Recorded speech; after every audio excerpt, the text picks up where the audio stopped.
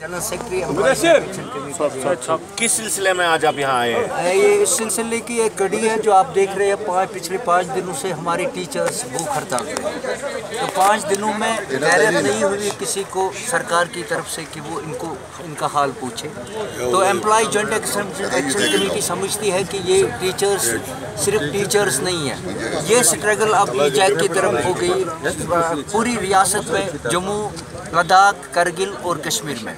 आपको पता होना चाहिए कि सारे जो रीजन्स हैं हमारे वहाँ इस वक्त भूख हड़ताल पे बैठे हुए हैं लोग। आज हम ये इनको सॉलिडरिटी के लिए आए हैं और हमने ये फैसला किया कि आज हम ये कैंडल प्रोटेस्ट का प्रोग्राम बनाएँगे।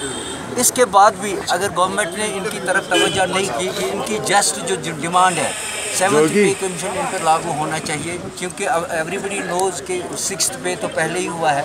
तो ये मेरी अकल मैं तो परेशान हूँ, ये कैसे हो सकता है कि आप इनको एकदम डिबार करोगे?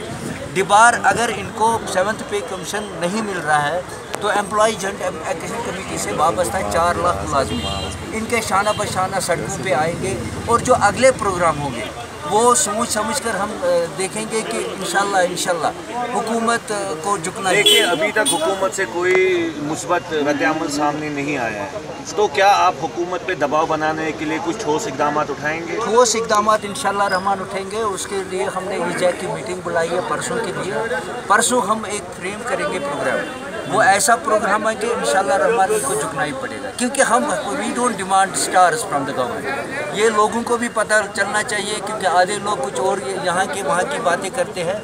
ये एक मुलाजिम को मुसलसल जो मुराद मिल रही है, जो उसकी जस्ट डिमांड है, जो उसका सैलरी बनता है, उसको एकदम आप डिवार करते हो।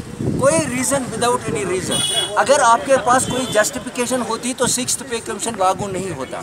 तो आज हम ये कहते हैं कि इसका, इसके पीछे क्या राज था कि आपने एकदम इनको डिबार किया। फोर्टी वन थाउज़ेंड टीचर्स और टीचर्स का मामला टीचर्स के मामले में लोग भी इनके साथ हैं, क्योंकि टीचर ही एक ऐसी शख्सियत है जो इस कौम के नौजवानों को आगे फ्यूचर की तरफ़ बना रहे हैं।